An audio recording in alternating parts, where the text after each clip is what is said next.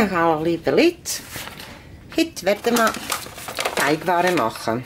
Also ich habe genau die Knöpflemehl und auf, eine, auf 100 Gramm Mehl kommt ein Ei. Das ist meine Eier von meinen Hühnern. Und eben auf Kilo Mehl werde ich einfach 10 Eier rein tun. Und dann tun wir das nachher einfach zusammen vermischen. So, also ich habe jetzt auf dem 1 Kilo Mehl 10 Eier aufgeschlagen und dann tun wir das einfach schön zusammen verrühren, bis eine gla gute glatte Masse man überkommt. Das ist am, am Anfang, dass es nicht passt, aber es passt. Ihr werdet das sehen. Einfach 100 Gramm Mehl, ein Ei. Das ist das eigentlich Trick für den guten Teigwaren, den die Italiener machen. Und einfach gut, gut rühren. Wenn man eine glatte Masse nachher drüber kommt, dann tun wir das nachher eine halbe Stunde Ruhe in der Frigo. Erst dann könnte man durch Maschine durchlassen, dass man das einfach äh, richtige Teigware überkommt, was man wollt. Es ist ziemlich hart und sehen Sie, wie sieht das Gelb aus bei mir. Das ist richtige Hauseier, nicht aus dem Laden und aus dem Käfig. Natur Bio Eier. So, jetzt tue ich das Witterchen noch ein bisschen rühren und dann tue ich das wieder zeigen. Also wie Sie sehen, jetzt ist das wunderbar schöne gelbe Masse, wie wenn wir Safran reingetan haben. Aber das ist nur unsere natürliche Bio-Eier. Jetzt tun wir das den Teig eine halbe Stunde bis dreiviertel Stunde ruhen lassen und dann könnten wir nachher anfangen, unsere Ravioli machen. Ja. So, jetzt tue ich das meine Spargel für Füllung anbreteln. Ich habe grüne, ganz fein geschnitten. Auf Ende machen wir noch ein bisschen Frischkäse und Mascarpone kann man auch gut tun. Und das ist ja wirklich etwas Feines.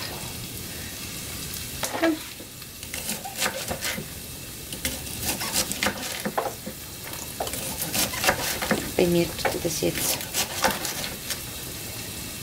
Ich werde das einfach jetzt alles schön schneiden. Dann zeige ich euch weiter, wie man das macht und was man macht. So. Jetzt habe ich ein bisschen Salz okay. und Pfeffer. Und das wäre das eigentlich alles, was ich von den Gewürzen mache. Man kann auch Kurkuma gut rein tun oder ein bisschen asiatisch, aber wir haben wirklich gerne richtigen Spargelgeschmack. Weil es kommt auch nachher, wenn das alles schön abgebrettelt ist, kommt dann noch, wie gesagt, ähm, Mascarpone und Frischkäse schnell noch Holz rein tun. So. Das wird ein feiner, feiner Essen. Eben, kann auch daheim, wenn man schon daheim bleibt, etwas Feines machen. Muss man nicht immer kaufen, sondern etwas selber probieren. Ich hoffe, ich tue euch anregen, dass ihr, dass ihr das auch macht. Es ist wirklich nicht schwer.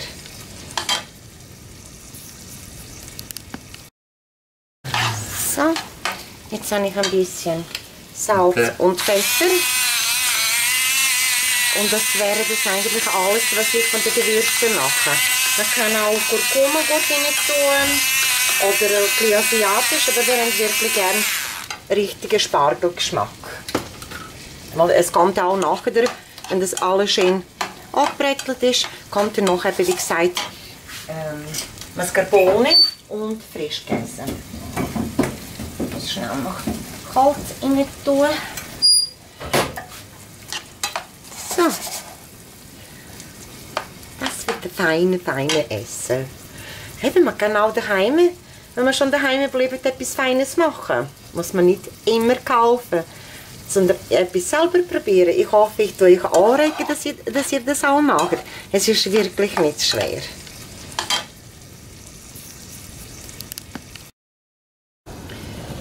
Was soll ich noch sagen? Spargel, genau wie die Tomaten oder Gurken, gehört, es ist fast 90% Wasser. Darum braucht ihr für Dienste einfach nicht Wasser, die lernt eigene. Ihr müsst einfach nur einen Deckel drauf tun und es tut es selber sich nachher ähm, dünsten. Hin und da ein bisschen einfach so rühren und das ist ja das. So, also die Spargel sind jetzt kalt geworden. Jetzt tue ich sie einfach nur ein so zusammen, zusammen drücken, dass man sie nachher besser durch den ähm, Sack könnten spritzen in die Ravioli.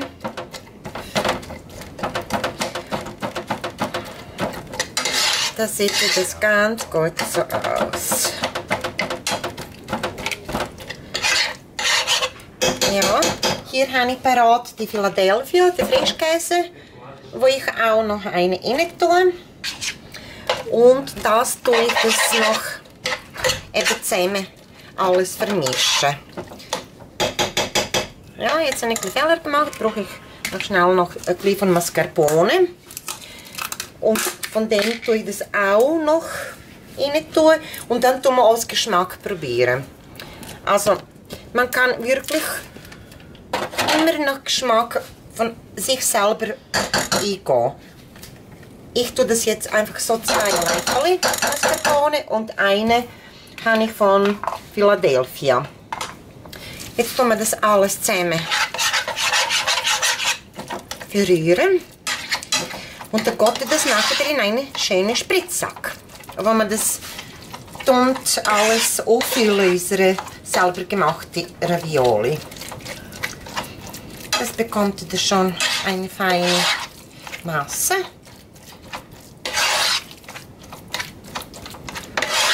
Ja, jetzt kann man probieren.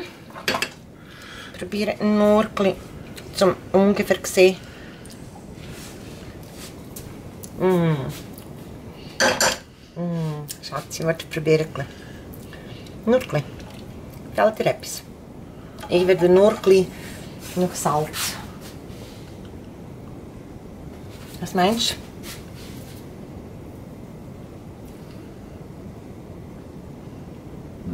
Ja, Nicht? zum Pfeffer kann Sinn. Eben, Aber bisschen- Ravioli ist es schwierig zu sagen, wie das ist. Ja, aber ich werde nur ein bisschen Pfeffer tun wir das rein tun, dass es ein bisschen pikanter ist. Und nur wirklich wenig Salz. Fertig. So, das ist unsere Füllung. Jetzt gehen wir weiter schauen, was haben wir dort vorbereitet. Sieht geil aus, he? Also. Jetzt gehen wir auf andere Baustellen. Hier haben wir eben die, unsere wunderschöne äh, Teigbrot. Hier ist die Maschine, mit welcher wir nachher die. Und das ist von der Betty Bossi Ravioli äh, Gerät, das wir nachher machen. Wie wir das alles machen, wir euch die interessantesten zeigen. So, wir, ich und meine Mann in der Corona-Krise, bleiben daheim, sind wir schön brav an der Ravioli selber machen. Jetzt sind wir, paar haben wir gemacht, das sind eigentlich gar nicht schlecht aus für das erste Mal. Und es ist nicht einfach, aber es ist auch gar nicht kompliziert groß. Schaut mal, wie sieht das aus? Ich habe nie geträumt, dass meine Mann einiges mal wird Ravioli machen in seinem Leben. Weißt du, was musst du mir ein Messer geben? Diese? Oder andere? Weißt du, da kann man es immer abschneiden. Aha, okay, warte schnell. da ist. Ja, gut, geht auch. Ja. Geht auch. Gut. Das ist ja so, ist doch einfach.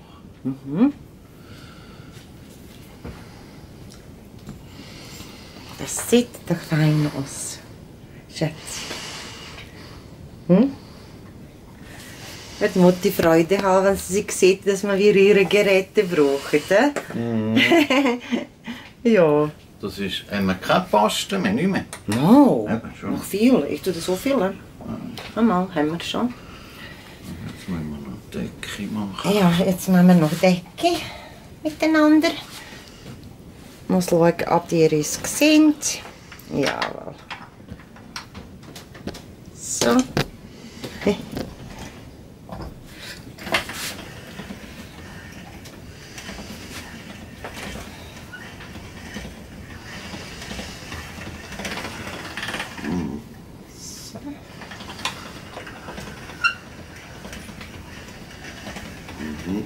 Gut, gut. Ja, halten es noch ein bisschen.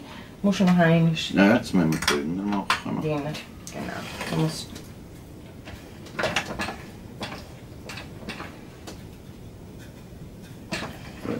Mhm.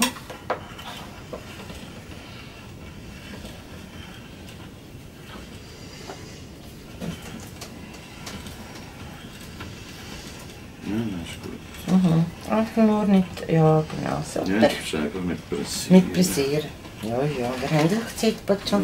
Mhm. Warte, So. jetzt. Jetzt musst du Nein, das, malen müssen wir noch.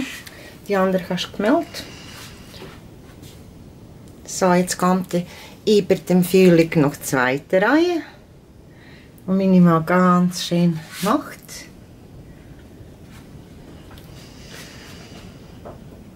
Gib Smiley.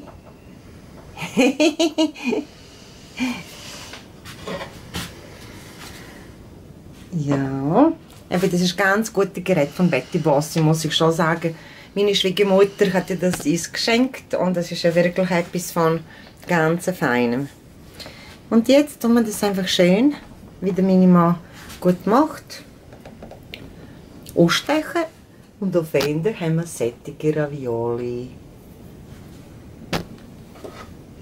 Wow!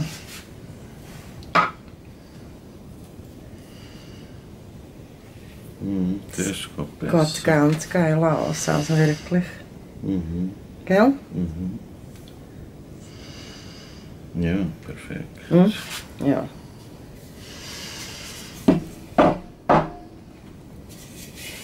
Und jetzt sieht das so aus. Schaut mal. Hey, wir hätten ein feines Nachtessen heute. Also viel, wir haben heute gemacht mit dem Frischkäse und Spargel. Ihr könnt mit allerlei genauso gleich machen. Mit all, viel, was ihr wollt. Ihr könnt das auch vormachen und einfrieren, damit ihr nicht in die Läden gehen und enorm Teigwaren kaufen. Kann man sie auch selber machen, kann man Zeit. Oder? Ja. Lieber mit Jetzt musst du ein bisschen Julienne. äh, mehlen, über das ihr nicht klebt. Das ist Mehl. Dann tun wir sie schnell ein bisschen einmehlen, dass sie es nicht klebt. Miteinander. So. Weißt du? Schau mal. Und so kann ich dann nachher auch wirklich in die Plastik und in die Tiefregung, weil man mag nicht so essen. Und wir haben heute etwas vor. Wir haben noch vier Bälle. Also kann man für ganz Entle Woche Ravioli machen. also, unterdessen. So, langsam sieht unser Tisch wie in Bäckerei aus. Jetzt zeigen wir euch auch, was wir noch gemacht haben. Haben Tagliatelle, die wir hier auf unserer Luster aufgehängt haben zum Trocknen. Und jetzt zeigen wir euch, wie machen wir das. Also, es ist wirklich etwas, was wir gemeinsam machen müssen. So, Schätzi, zeigen wir. Also.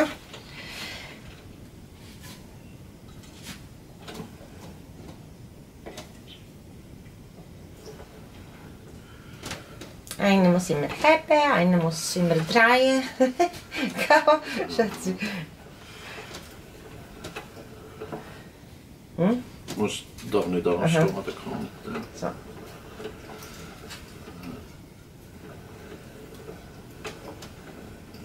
jetzt besser. Gut.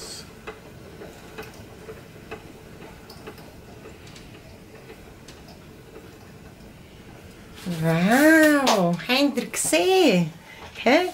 Das ist jetzt unsere Teigware. Jetzt tun wir sie schön aufhängen auf den Luster. Und tun wir sie gleich trocknen lassen. Also heute haben wir wirklich viel gemacht. Wir haben Einlagen für Suppe von den restlichen Sachen, die uns geblieben sind. Das ist unsere Ravioli. Ja, haben wir noch ein bisschen Teig, wo wir noch sollten irgendetwas machen. Tu mal schauen. Tu ich euch informieren. Gell, Schatzi? Ja? Aber schon geile Sachen, gell? Hm? So. Die. So, ich habe jetzt die unsere frische Ravioli aus dem Wasser rausgenommen. Jetzt gehen wir die in die schwarze Butter. So, dazu habe ich noch uns eine grüne Salat mit dem Schertenmatte gemacht. Und das wird unsere feine Nachtessen. Wir servieren über dem, über dem äh, Ravioli kommt dann noch die natürlich geriebene Parmesan. Das ist eben die braune Butter mit dem Salbei. Ich werde das gar nicht äh, jetzt groß, weil in Salzwasser habe ich gekocht. Und hätte auch noch eben die ähm, Käse dazu. Und dann werden wir das einfach jetzt so schön ins Teller servieren und essen. Ich wünsche euch ganz einen schönen Abend, bleibt gesund, bleibt zu Hause und wir sehen uns wieder bald. Tschüss! So, im kochenden Salzwasser habe ich jetzt die meine Ravioli ein paar Minuten drin. Und auf Seite habe ich braune Butter gemacht mit dem Salbei. Also Butter mit Salbene ist eine wunderbare Ergänzung für ähm, sobald die fertig sind und alle schön angekommen, dann tue ich sie Wasser ausschöpfen und dann tue ich sie innen noch einmal mal anbröteln. Und dann zeige ich euch, wie sieht der Iser jetzt Nachtessen aus. Ja.